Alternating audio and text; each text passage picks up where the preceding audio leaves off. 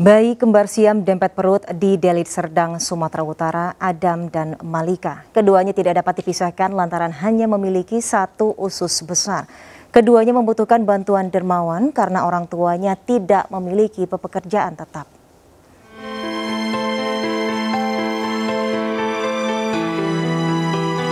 Bayi mungil Adam dan Malika merupakan anak kedua dan ketiga dari pasangan Ali Ahmad Panjangan dan Devi Fatmita warga Jalan Pasir Putih, Desa Cinta Damai, Percut Seituan, Deli Serdang, Sumatera Utara. Bayi yang lahir di Rumah Sakit Adam Malik Medan pada Desember lalu ini nampak sehat dan bugar layaknya bayi pada umumnya.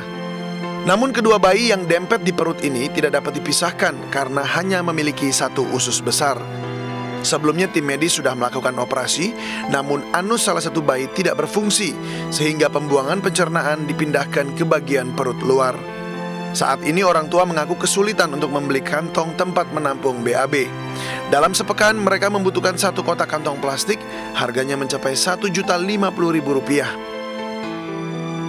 Kalau operasi pun operasi BAB-nya, Kalau dia pemisahan nggak bisa dipisah dia ya supaya diperhatiin lagi kami gitu.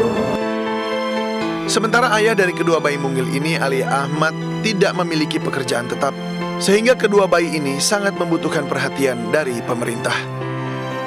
Dari Deli Serdang, Sumatera Utara, Ahmad Ridwan Nasution, iNews melaporkan.